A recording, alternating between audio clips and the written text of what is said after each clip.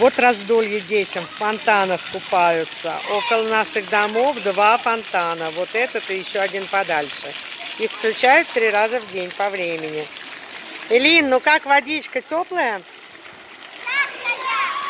Жаркая. Жаркая, водичка жаркая.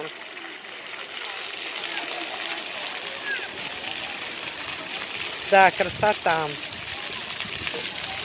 Вообще здесь вот такой скверик около домов. Хорошенький. И фонтанчики. Дети разбежались. А наше все на заплыве.